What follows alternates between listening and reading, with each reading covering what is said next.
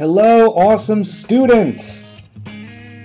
Today I want to talk to you about PARCC. This year, students from all over the country are taking a new type of assessment to see how well they're learning and so teachers can improve their education. This assessment is called PARCC. Now, PARCC is important. Think about it like going to the doctors. Every year, many kids go to the doctor for a checkup and to see how much they've grown. PARCC is the same thing, just for your education. We want to give you a checkup and see how much you grow every year. PARCC is two assessments. The first part's going to be mid-March, and the second part's going to be toward the end of the year. And oh yeah, something else. PARCC is totally online. Since PARCC is online, it can ask better questions in new ways. Let's take a look at some of them. Before we get started, I want to give you the best tip I can to doing well on the PARCC. You have to read the directions. Um, as we get started, your screen will look like this. Uh, down here, you will see the directions for this section. After you've read them, enter your name and hit Start Test Now. We will see that we are in session 1. It has 39 questions, and when I'm ready, I can start the section. Let's take a look at the top of the screen first we will see a blue arrow and a gray arrow. These are how I navigate from question to question. Clicking the blue arrow will take me to the next question, and we will see the gray arrow has become blue, and that is how I go back to the previous question. If you don't understand a question, you can hit the flag question for review button, and later, when you want to come back to a question, you can open the review panel, which will show you what questions have been answered, what has not been answered, and what has not been viewed yet. So if I want to go back to question one, all I have to do is click View Question. I can also filter my questions by answered and flagged. I can look back at the All section, which will show me everything. And I can see up here as well how many questions have not been answered and how many questions I flagged for review. So since I didn't understand question number one, and I want to go back and take a look at it, I'm going to go ahead and click View Question and that will take me back to the question. So don't be afraid to flag a question to review later. We don't want to spend too much time on any one question we may not understand. One of the first types of questions you may see when you take the PARCC practice assessment is a fill in the blank. Read the question carefully, and when you're ready, fill in what you think is the correct answer, and simply go to the next question. The next type of question you will see on the PARCC is multiple choice. I select what I think is the correct answer, but notice I can only select one answer. It's a good tip to know that a circle next to the letter means that you can select one answer.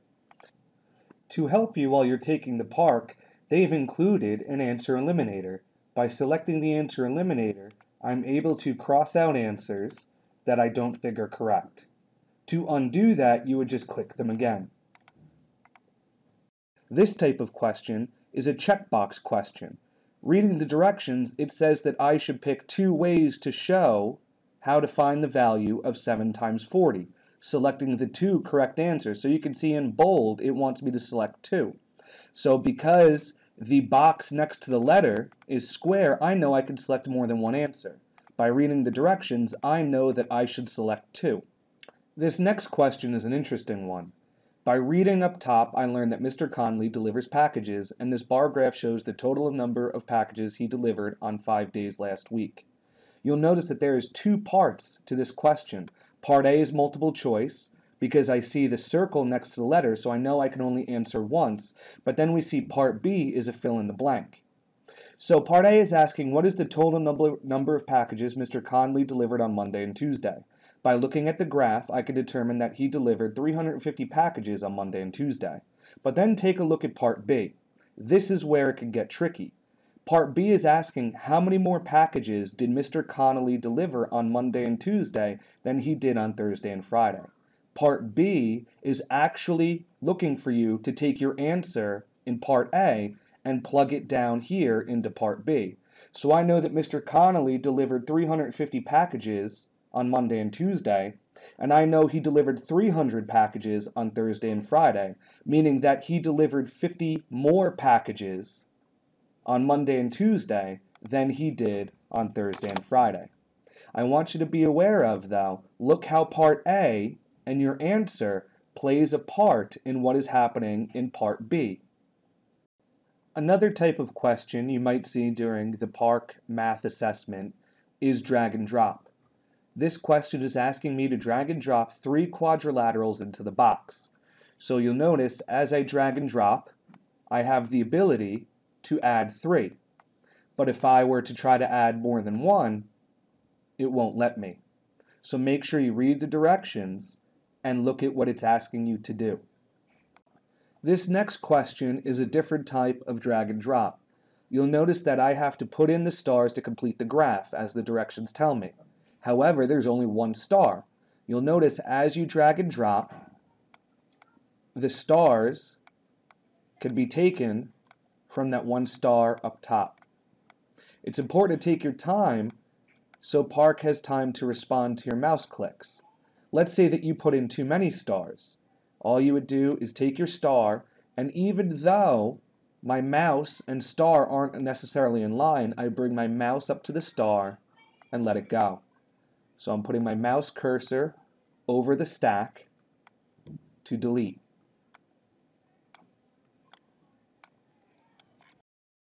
Alright guys, this next question is a great example on why it's so important to read the directions. It tells me I have to use the more or fewer buttons as many times as needed to divide the circle into six equal parts. Then shade one-sixth the area of the circle. If I didn't read the directions, I might be confused as to how I'm supposed to get this circle divided into one-sixth.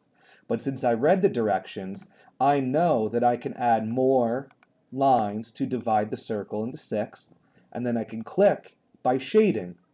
If I need to go uh, to fewer lines, I would just hit the fewer button. Or if I just want to reset and start over, I could hit click the reset button. It's really important that you read the directions because you're going to run into questions similar to this one. This next question is asking me to plot the point that shows 5 sixths on the number line shown here. If I want to plot a point, I simply just click where I think the point should appear on the number line. If you're older, you may see a more in-depth version of the previous question. When I select a place on the number line, you'll see that it blows up so I can plot a more exact point. So between 3.5 and 4, I can find a place to plot this point, but you'll notice up here right, it's still moving as well. Here is another example of a type of question I may see on the Math PARCC exam. It's asking me to graph points A, B, and C on the coordinate plane. So if I want to point, uh, plot point A, I would select A and plot it. Point B, plot, point C, and plot. If I want to undo a point, I would just keep it selected and I would click over it and it disappears. But here's the thing. If I click on point B and I put it over point A, it doesn't actually disappear. It's still there.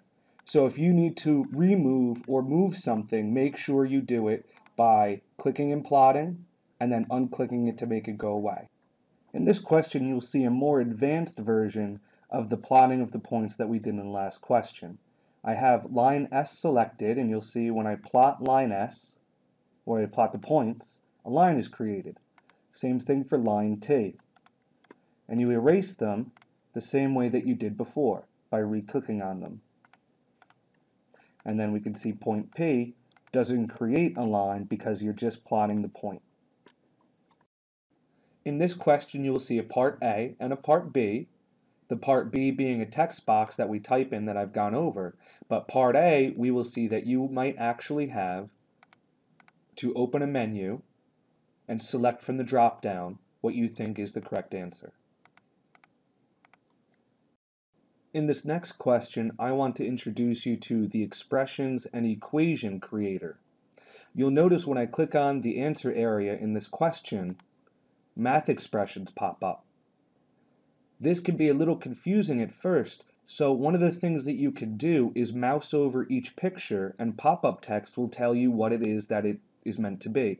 So here we see this is meant for mixed numbers. This is meant for fractions. We have brackets, parentheses. We have the dollar sign. uh, multiplication, division, uh, the addition and subtraction buttons, as well as the less than and greater than, the equal sign, and then over here we actually have the undo button, the redo button, and the clear all button. So let's say that I wanted to do 2 plus 2. We'll see that this little box here can be highlighted and allows me to enter a number. I can then hit the plus sign. Another box will appear. I can enter in the 2, the equal sign, and then I can go ahead, click, and enter in 4. If I want to undo what I have already done, I can hit this undo button, and it will take me back step by step through what I've already created, so I don't have to start all over. If I want to redo something, it goes the opposite, so it remembers everything that I did. If I want to clear everything and start fresh, I would just do that. So if I think that this was going to be uh, a mixed number, I would select the mixed number button, and then you will see that I have my options, and I could just enter in whatever I think the answer might be. The other thing to be aware of is you are not limited to just numbers. I can also enter in letters, but I cannot enter spaces. So that's something to keep in mind, and is another reason why reading the directions is so important. If you're older, you may see the more advanced version of the math expressions that we talked about before. By clicking on the answer, you'll see that I still have undo, redo, and clear all, but now I have three menus here on the right. I have the math symbols, I have the relations, and I have the geometry. With all three open, I can scroll between them. And it works the same even though there's more options. I can insert my number, I can insert my symbol, insert my number, uh, whatever I need to do. So wherever you see a box, you know that you can insert a number or a letter. To undo, just go back and click. And it shouldn't be too much different than it is with the math expressions, uh, the simpler version. In this question, I'm being asked to create a histogram that represents the data listed above. So after I read the directions, to create my histogram, I could just select and drag. And it works in both directions, all the way up, select and drag, all the way back down. You also might run into a problem like this. Again, the best thing to do is always read the directions and think for a minute what is it asking you to do. For here, it's asking me, for each figure pictured in the table, select the box for any statement that describes the figure. You may select more than one box for each figure. So this first part is asking me, appears to have two parallel sides. The second column is asking me, has at least two perpendicular sides. I can select my answers, or deselect my answers as needed, understanding that I might answer one for a column, I might answer two for a column, or I might not answer at all for a column. These are options that you can choose for your answers. Let's take a look at one of the trickier questions on this practice PARCC exam. You'll notice I have a part A and part B, and you'll notice on the left here it's giving me some information. I will see that I have a scroll bar which allows me to see the rest of the information. So make sure that you're aware if you see a scroll bar, there might be more things that you need to read or be aware of. In part A, I see that I have a drag and drop problem. Okay. In part B, I have an answer box where I should type in my answer. If I write something that might be letters or spaces, it's going to tell me an invalid input, but numbers doesn't give me a problem. Finally, if this math problem wanted to ask me how to measure some of these angles, you'll see up here in the toolbar, uh, toolbar that I can actually pull out a protractor. To manipulate the protractor, you can drag your mouse and rotate the protractor to make yourself uh, able to measure these angles if that's what the question was asking you for. Here's another example about why it's so important to read the directions. In this question, I'm being told that the area of the rectangular sandbox at Dave's school is 108 square feet. The sandbox has a width of 9 feet as shown in the diagram. If I didn't read the directions, I might be tempted to come up here and select the ruler and measure the side here. The problem is, if the width is 9 feet and I'm using a ruler that is 6 inches, that doesn't make much sense because I know the length is going to be longer than the width. So a 6 inch ruler doesn't really help me in this question. That's why it's important to read the directions. It will tell you to use the ruler or use the protractor. Chances are, if it doesn't tell you to use it, you don't need it. If you feel overwhelmed or nervous about PARCC, don't be. Just remember to read the directions, your teachers are here to help, and we're going to do lots of practice. We know that you're going to do great. So, let's get this practice PARCC started.